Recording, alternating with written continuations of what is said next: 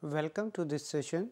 Today we are going to discuss about the export certification for milk products. It means uh, we want to understand how the milk products are exported from India and what are the regulatory requirements.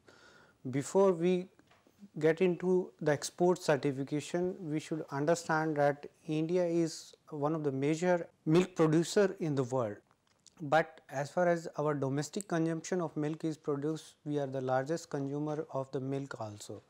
So, as such raw milk is not uh, exported from India and the milk products are exported from India. And we, we need to understand why the milk product can be exported uh, with certification only means because the milk products are notified under EIC Act. It means that they are under mandatory quality control and inspection system. Therefore, the milk products cannot be exported from India without certification from EIC or EIAs. If we want to understand the legal basis for that, the export of milk products was notified by the government of India order number 2719 and notification number SO 2720 both dated 28 November 2000 and these notifications were made under Export Quality Control and Inspection Act 1963. Therefore, while these notification government of India made it compulsory that any milk product if it is to be exported from India, it should be certified by the EIC, EIA for its quality and safety aspects. In any case, if the milk is exported, the meeting the requirements is the primary responsibility of the exporters. And when the exporter want to export the milk products, what are the requirements he need to ensure is the meeting the health requirements of the importing country because once a product is to be exported the requirements of the importing country are primarily required to be ensured. And the second requirement is the requirement specified in the Government of India notification. In the previous slide we discussed about the two notification. One is the principal order which specified that the product has been brought under compulsory inspection and certification and the second notification specify the rules for export of milk product. So, these rules specify the requirements uh, in, in terms of quality and safety which are required to be met in terms of the milk products. So, the requirement of the importing country as well as the requirements given in the government of India notifications are to be met if any exporter want to export the milk product and what role EIC plays when the export of the milk product is to be done. The EIC exercise the official control by approving the units. So, there is a system to approve the units if a unit want to export the milk product from India and to ensure that the uh, milk products which are going from India EIC implement an effective surveillance system to ensure compliance to the requirement of government of India notification as well as the importing country requirement. If we want to understand the current scenario of export of dairy products or milk products from India, currently there are around 100 milk plants which are approved by EIC EIA for export of milk products. And the major products which are exported are SMP, skimmed milk powder, WMP, lactose, casein, ghee, cheese, butter etc. And if we see in terms of market, export of milk products is going to more than 100 countries including USA, Japan, Australia, Malaysia, Singapore, Dubai, UAE, South Korea etc. So, there is a wide market of milk products from India to all around the world. And what are the quality and food safety features uh, which are required to be met in terms of export of milk product. First thing is the control over the primary production because currently uh, the whole supply chain approach for safety of the product is getting driver stage day by day. Every country is putting emphasis that the safety should ensure throughout the food chain. Therefore, primary production becomes very important aspect to control the safety and quality requirement. GHP, GMP, HACCP based on check system, traceability of raw milk, permitted chemicals, system for tracing all raw materials and finished product. It means that whatever the products are used or finished product they are traceable it means traceability mechanism is available in the system from where the raw material has come and where it has gone. So that in case of any non compliance we can easily find out where was the problem. Personal hygiene need to be ensured, maintain employee health check cards and now we will like to understand what are the infrastructure requirement for plant approval. It means that when exporter want to get its plant approved for the export of milk products, what are the things should be available in its plant or processing plant before approaching the EIC for seeking the appro approval. Adequate space for equipment, installation and storage of materials. Separation of operation to avoid cross contamination means all the operations should be duly separated so that contamination in one operation area is not transferred to other operation area. External walls, roofs, doors, window shall be water resistance and insect resistance means they should not be prone to the corrosion and they should not allow the entry of the insect pests. Internal walls, floor shall be smooth and easily cleanable means there should not be crevices in the walls and floors which allow accumulation of microorganisms and the floors and walls should be easily cleanable. Adequate lighting and ventilation it means the processing plant should have the proper lighting depending of the area of operation where the what quantity of light is required and proper aeration also in terms of ventilation. Protection against the pest is also to be ensured in each area of the operations. Control of over the primary production. As we already discussed the primary production is a major aspect means it is a very important step to ensure that the, uh, the final product we are getting is safe. So, there need to be have adequate measures to protect raw milk production against any contamination. This all need to be ensured by the uh, plant measures to control the contamination arising from the air, soil, water, feed, fertilizer, veterinary medicinal products and biocides and the proper storage. So, proper mechanism and system need to be placed to control the contamination through these sources. Control to prevent the use of prohibited antibiotic, pharmacological substances and chemicals means there should be a proper system in the plant that they are aware what are the substances which are not allowed in the milk products so that there is no final rejection of the products. And these these mechanism or these lists need to be updated from time to time based on the recommendation of government of India or the importing country. Because in case of export the importing country requirement is very important. So, these lists need to be updated from time to time.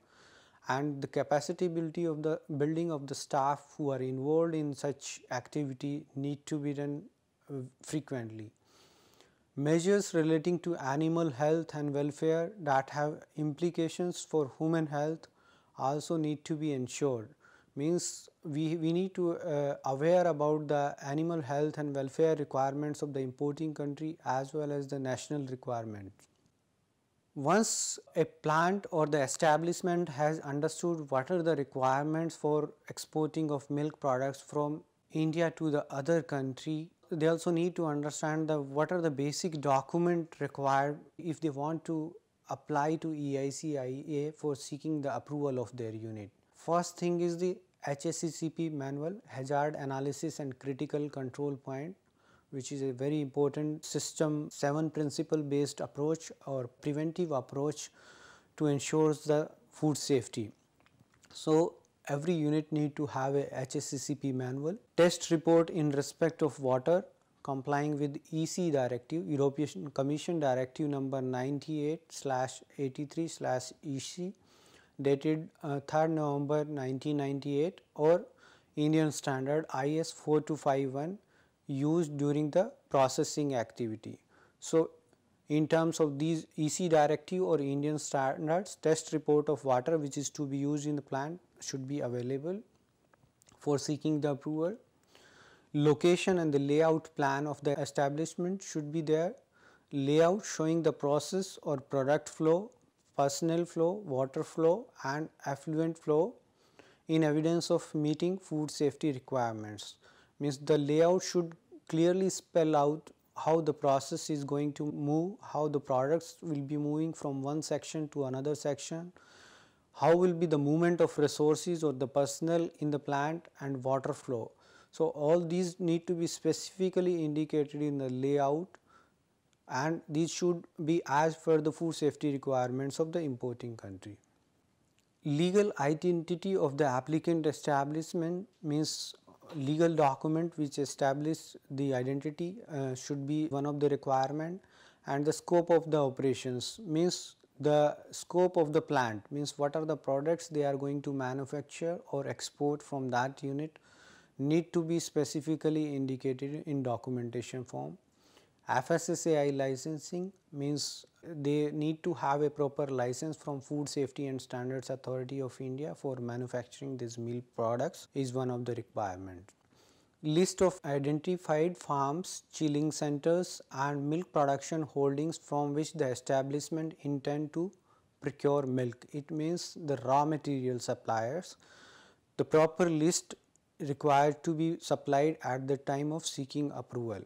Biodata of the veterinarian or technologist means the internal officer who will be ensuring the food safety and quality requirement, the biodata of that particular officer need to enclose with the application form. Consent letter issued by the pollution control board means uh, pollution is under control check the, and that type of certification should be available copy of the order allotting importer exporter code IEC code because this is uh, the primary requirement because a exporter cannot export any item unless until he has been issued a IEC code by the DGFT. Procedure for approval of the establishment once an exporter or establishment has satisfied itself that they, they meet all the requirements, they have all the infrastructure in place for seeking uh, approval of their unit for export of milk products, they will apply in a proper application form to the concerned EIA which is nearest to them as per their convenience and they will apply application for approval along with the supporting documents which have been explained in the previous slides. Once the application has been received at EIA, the EIA will give the acknowledgement and carry out the desk audit scrutiny of, of the application by EIA officers.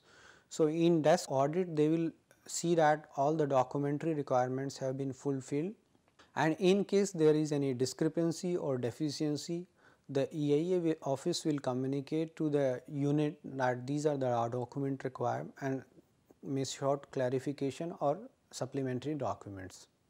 Once it has been ensured that the documents are complete, uh, the assessment of the establishment by interdepartmental panel IDP, it is an expert panel of different organization is constituted for assessment of infrastructure and equipment facilities and implementation of good hygienic practices, good manufacturing practices and food safety management system based HACCP or procedures of the establishment. So, this IDP panel team will visit the establishment based on the mutual convenience again the date and time will be decided. The team will visit the plant and once the team is satisfied they will IDP team will recommend for approval of the unit by the EIA. Based on the recommendation of the IDP team an approval letter is issued to the establishment and a certificate of approval is issued to the establishment.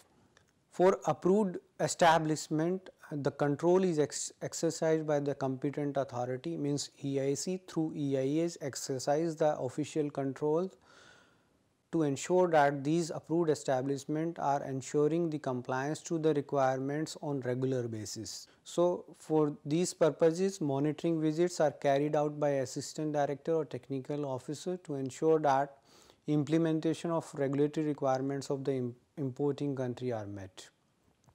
And these uh, monitoring visits are carried out for facility checks, maintenance, verification of the sanitary and hygienic condition prevalent at all section of the unit, verification of HACCP implementation, verification of the testing and lab practices. It means that the internal testing and sampling is carried out as per the requirement, verification of the internal records means whether proper records are being maintained for each and all activities which are being done in the establishment over and above the monitoring visits, supervisory visits are carried out by the deputy director or above level officer of the concerned EIA and the objective of carrying out the supervisory visit is for checking the documentation and compliance requirements of government of India notification or the requirements of the importing country.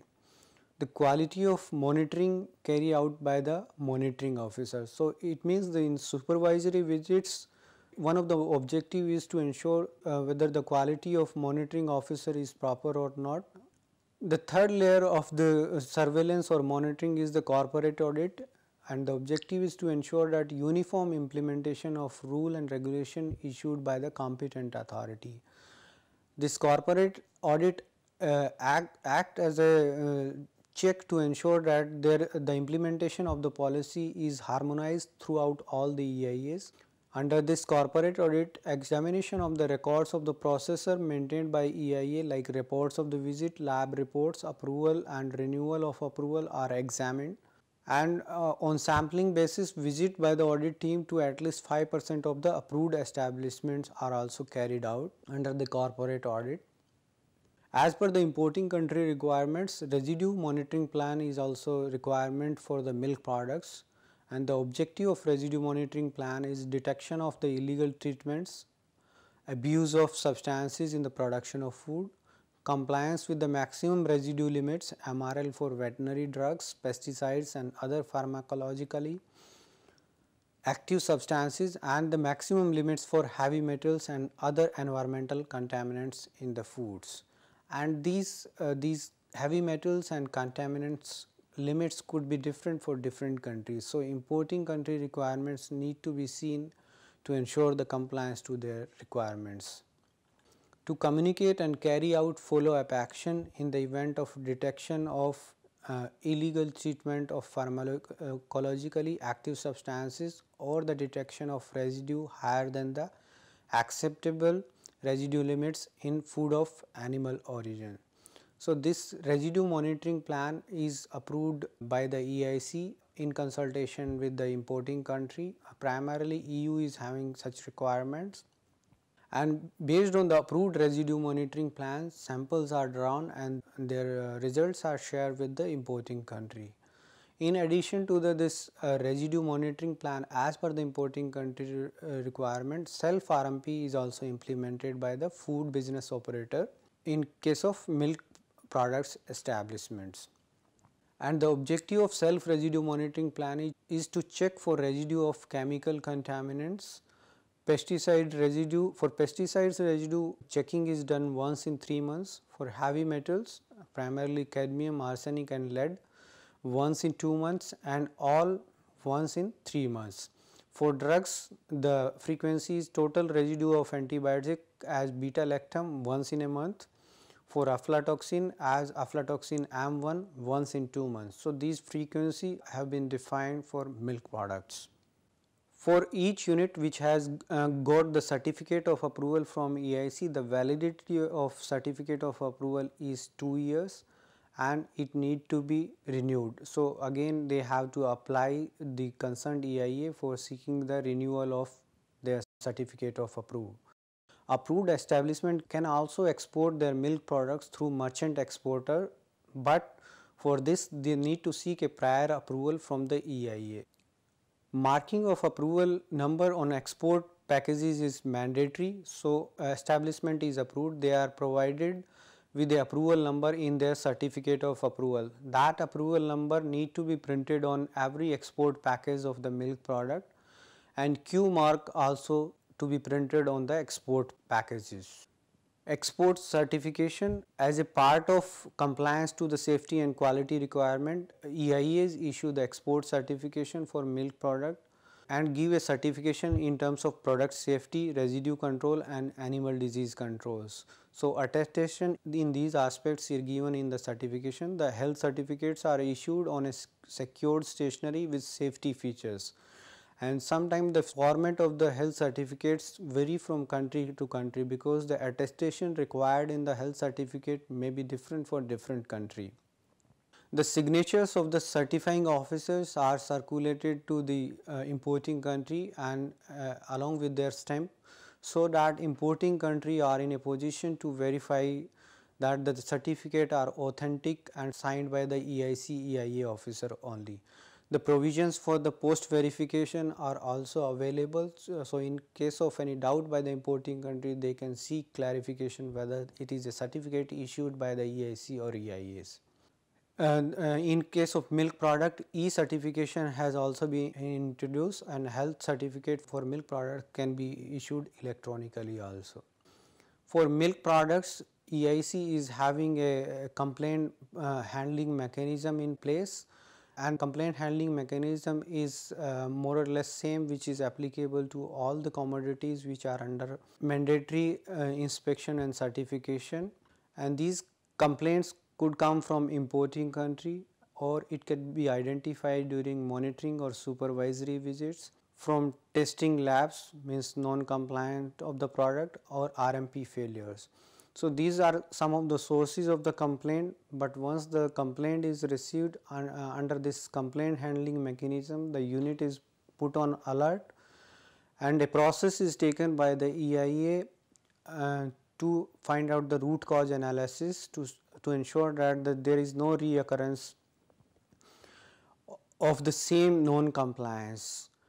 So, through this procedure we are in a position to understand that there is a duly laid down regulatory mechanism in place for milk and milk products and the exporters are required to ensure the standards and specification defined in the government of India notification as well as the importing country requirements. So, it is the responsibility of the exporter to ensure that the requirements given are satisfied because any any non compliance will uh, cost a lot to the exporter and will bring name to the country. So, all the exporters should ensure that they are meeting uh, if they wish to export the milk product they ensure the requirement given in the EIC act and regulations made there under. Thank you.